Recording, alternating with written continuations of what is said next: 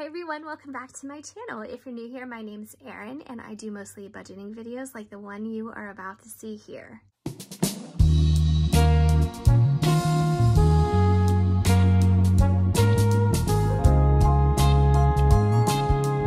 Today's video, I am going to concentrate on paying bills and this is my bi-weekly paycheck to paycheck budget system. Uh, recently, I just did a video on how I migrated all of my budgeting forms and information into this planner right here. And this is pretty much just made up of my own printables, some homemade dividers, and of course, some Happy Planner rings and a Happy Planner cover. So the reason why I like this is because it is very durable. I like these hard covers and I also think it just looks nice. I like the simplicity of it. Um, you know, I think budgeting is a very serious thing in your household and so I think this has a serious cover um, and I just like the way it looks so we're going to get into the paycheck budget for this week but let me adjust just a fraction and I will zoom in and be able to show you guys everything that's going on here. So this is one of my uh, newest printables and what I like about this, the most exciting part of this to me are all these tabs that I created.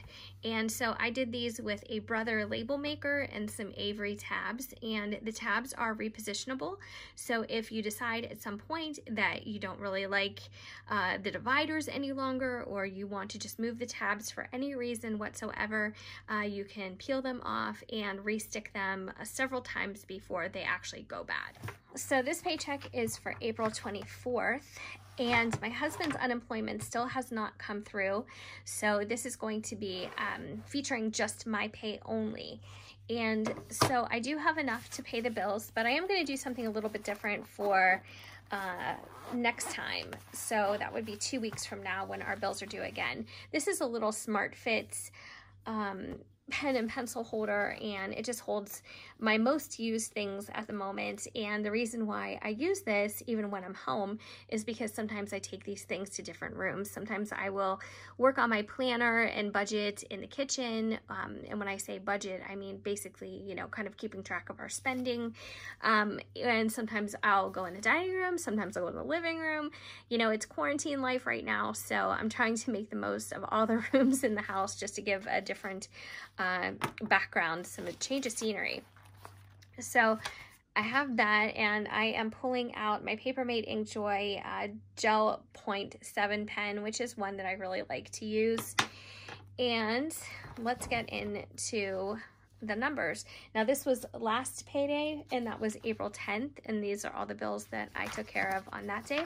Um, this is this is just a little homemade divider and this plastic is actually from a wrapper on a happy planner and if you guys get new happy planners or happy notes notebooks don't throw the outside away because it's already factory hole punched and so I just trimmed it down and I made like a little bookmark for myself. So I'm going to pull out, well, actually, I'll leave it in, um, in here for now. So let's get into the bills that we have to pay. Now, what I'm doing a little bit differently is I'm going to hold the extra money from this paycheck and I'm going to move it until the next payday. And the next payday is going to be two weeks from now and I have a lot of bills due again, but my paycheck will not cover all those bills. And so I need to make sure that we are covered without dipping into savings as much as possible until my husband's unemployment comes through. So I'm gonna use the extra that we have from today and I'm going to just hold on to it uh, electronically, of course. I'm not taking out any cash at the moment. I'm using, even for my um, categories, my spending categories, I'm doing everything electronic and tracking everything electronically. Um, so it's a cashless cash envelope system at the moment. So I do have quite a few bills that are due today, um, not as much as last time. At the beginning of the month, I have more due than the end of the month. So this is going to be the April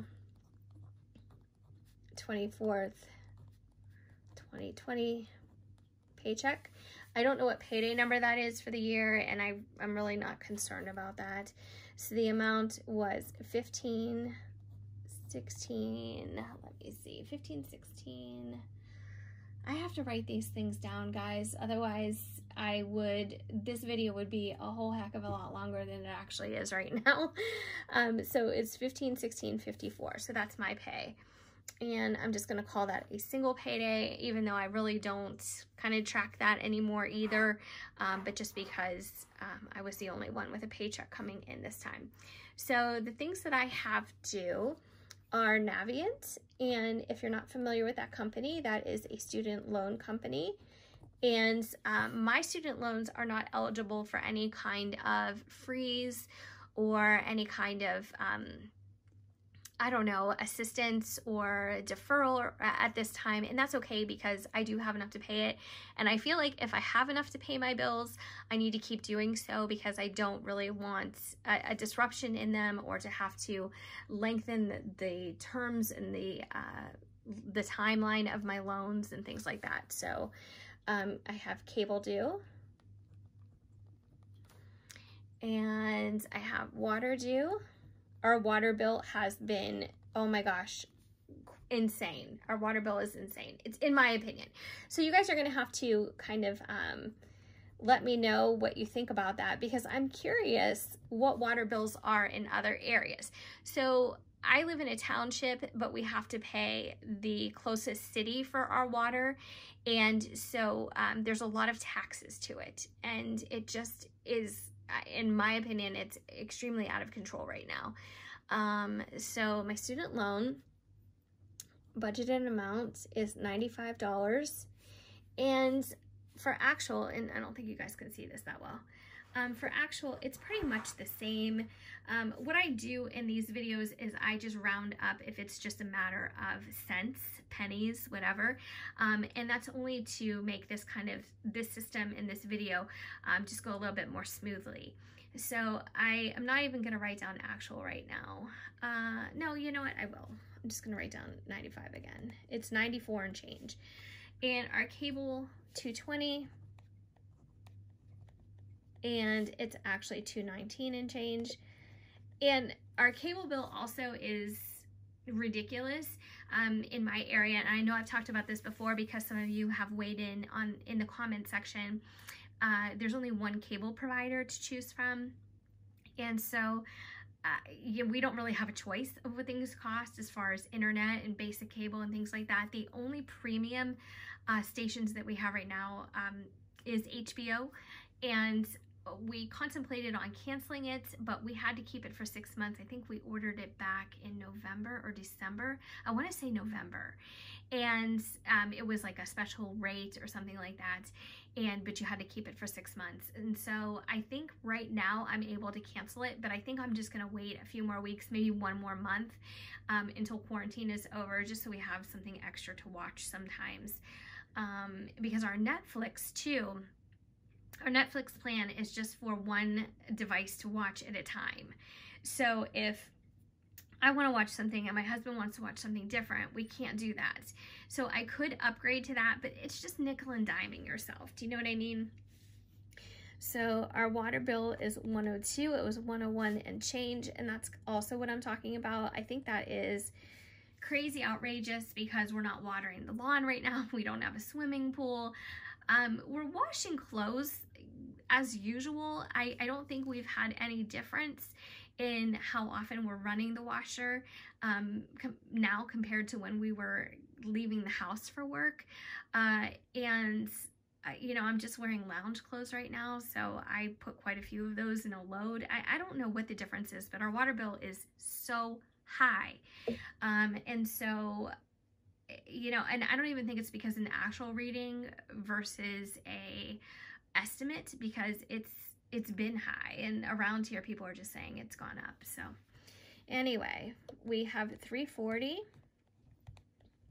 for my husband's lease and no, that's not right. It's 340 and change, but you know what? I'm just going to leave it like that. It's I usually budget 341, uh, but we'll leave it like that.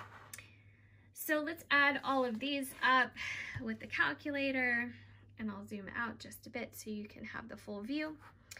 Um, but anyways, so as far as cable goes, like I said, we just have the one provider And we could go to like Dish Network or something like that, but I've had some friends who have made that change and, you know, gone with satellites of some kind. And because of our weather around here, they have nonstop problems.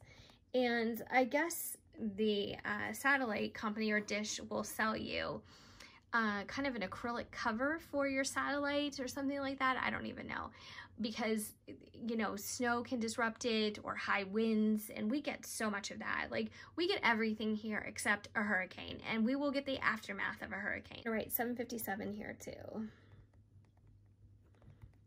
So as you can see, this week compared to, let's just go back to last week, um, I budgeted 220 and we had 1896 in bills due. So that's going to happen again next week, or I'm sorry, in two weeks from now, we're going to have probably $1,900 in bills due. So that's why I need to create, keep any rollover that I have, any excess, and I need to hold on to it and plan to use it uh, for the next payday to cover everything. So our variable expenses this week, not no big deal. Um, we have um, food, you know, and that's groceries and um, carry out that we're planning on doing. So that is 140. So that's why it's a little bit higher. Usually we don't do as much carry out. Um, it's just not our thing. We like to go out to eat, but we can't go out to eat right now. Um, and then the dog's um, food is going to be 25. We buy the same kind for them every time. And gas is 25. Now our gas has gone down and I mean fuel for the cars so much. Right now, it's a dollar twenty-nine a gallon where I live. And my husband has a truck, and so it takes a little bit more to fill his up, but 25 is gonna do it.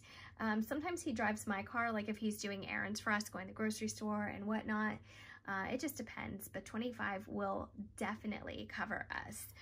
So I also um, purchased something online, and I used my Discover card and I'm going to have to pay that back. So that is going to be 43.09.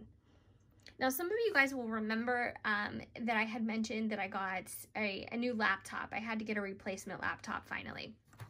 And I didn't want to have that bill hovering. I just, I don't know. I, it just made me nervous because we just got out of credit card debts and I really just didn't like the idea of 12 more payments, even though it was interest free and the payments I think were like 60 some dollars a month. I took it out of our savings and I just paid it off. And I just thought, you know what, before I get into some kind of situation where all of a sudden I have credit card debt building and building, I just wanted to get rid of it. And I feel blessed that I was able to. So that's not right.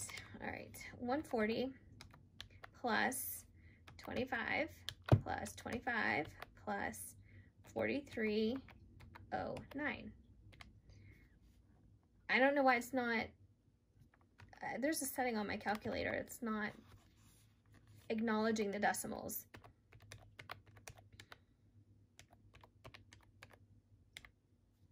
Okay, I don't know what that setting is, but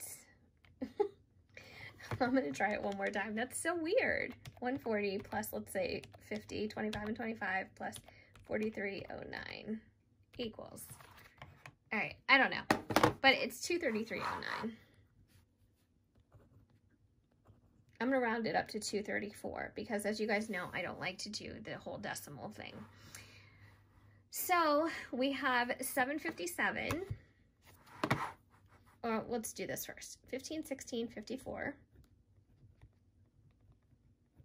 Fixed expenses were 757.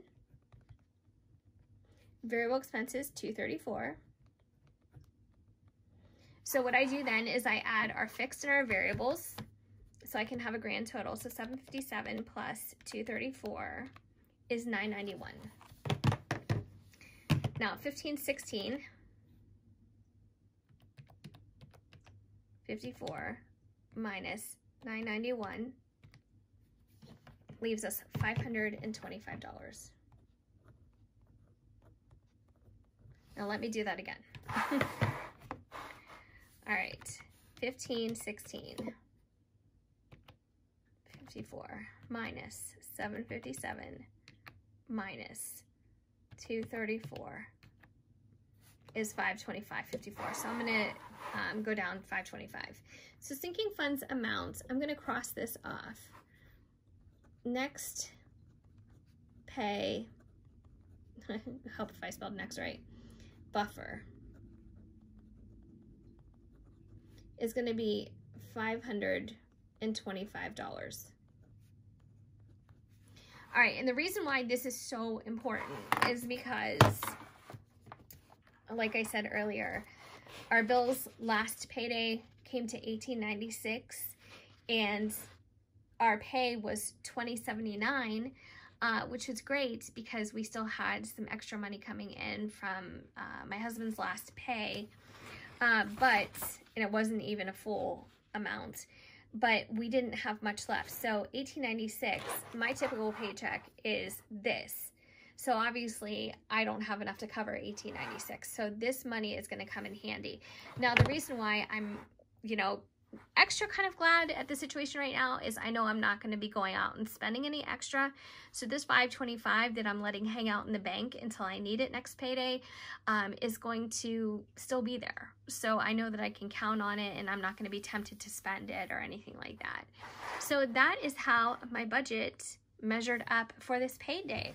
Um, I hope that you guys are still enjoying these videos. I enjoy making them. Um, if you have any other recommendations for budgeting related content or anything else really, I'm totally open to that. Please leave it down in the comments. And I wanted to thank those of you who always watch until the end, which I think is great. I, I really appreciate that. Um, but if you uh, enjoyed this video and you can give it a thumbs up, that would greatly help my channel. So thank you so much. I hope that you're all doing well. I hope that you're all staying safe and healthy, and I will see you guys in my next video. Take care.